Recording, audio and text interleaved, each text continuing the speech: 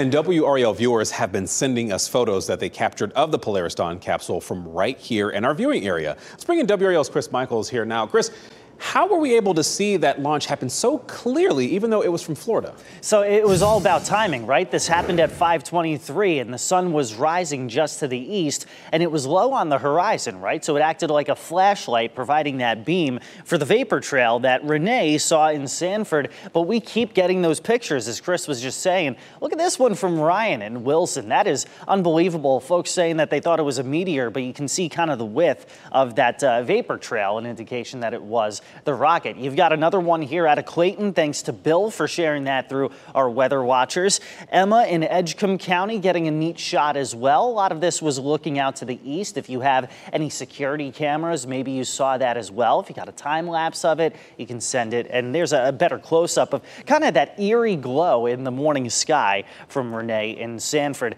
Again, if you have pictures, videos of that launch, even though it was a few hours ago, we'd love to see them. We'd love to share them. Go to WRAL.com and search Weather Watchers.